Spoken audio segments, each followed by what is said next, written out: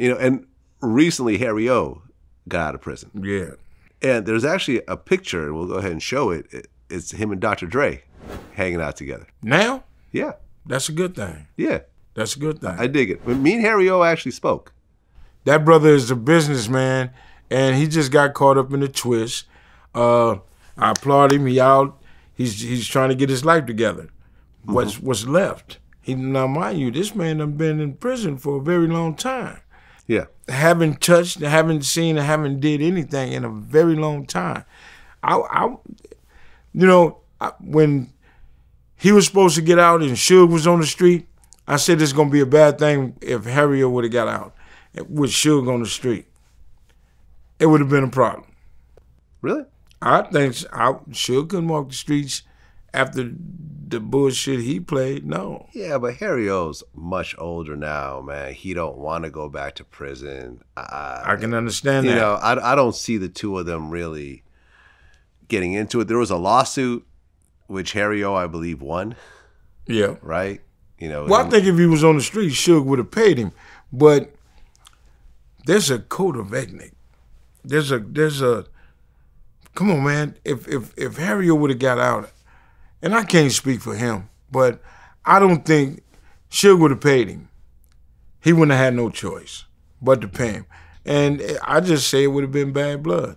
Um, you know, we go from being business partners, from talking to to chopping it up on the phone every other day to don't answer the phone for him. You know what I'm saying? Okay, so so let, us just kind of get into the story a little bit. Harry O allegedly financed Death Row Records, Yes. right?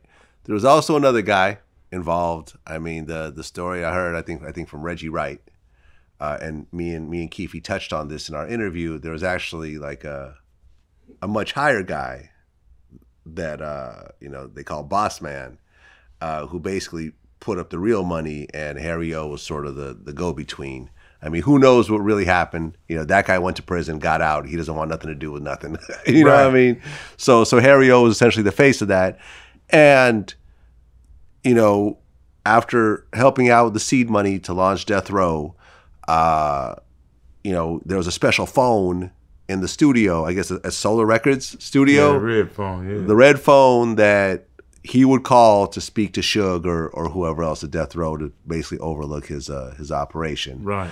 The whole thing with um, you know those guys, the, the the producers who ended up you know talking on the phone, and then Suge ended up pistol whipping him.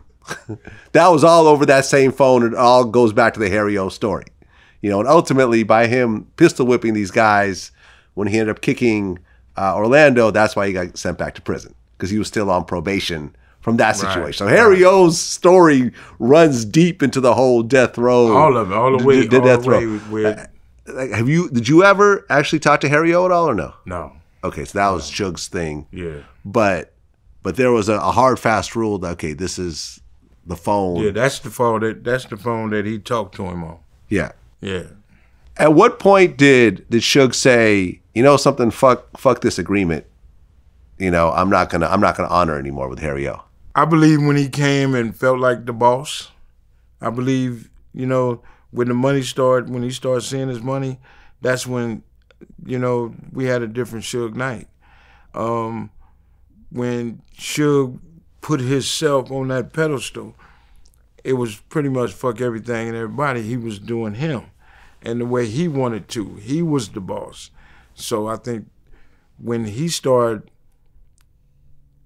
denying certain individuals and and felt there was no need to give this individual or that indi- individual uh, monies for a certain individual, he started running into problems. Well, and there you have it. And then a lawsuit happened, and uh, ultimately Suge lost because he didn't show up to court. He he lost a lot of his cases because he didn't show up. He lost Death Row because Yeah, that's what I'm saying. Well, he lost Death Row, yeah, because of the whole Harry O thing and so forth. And ultimately, it all got auctioned off, and now what, Mattel Toys owns you know, it or something. I want to say this, Vlad, and a lot of people don't believe that people have hidden agendas.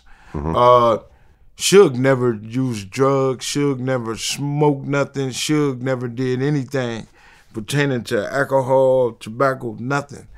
Well, Uh, he, smoked cigars. Yeah, well now he do. Now he he just got into that. The drinking, I never seen Suge drink the way he did. And using different using drugs, um, that was his demise. That what took him down because he wasn't sharp right here no more. He wasn't thinking no more. You know, he just got too relaxed into him and did the same thing Tupac did, whether people realize it or not. He wanted to be a part of the goddamn homie situation, the security. Hmm. And he should have stayed the business manager, the CEO. He should have held on to his title opposed to start doing all the extra shit. And shit would have been all right. But the alcohol and all that shit fucked his mind up.